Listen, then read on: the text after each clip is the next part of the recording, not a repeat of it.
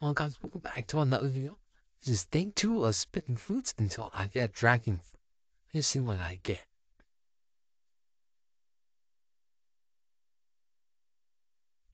I smoke fruit that needs garbage. I'm drunk that. Anyway, guys, that's the end of today's. video. See you guys in the next one. Peace.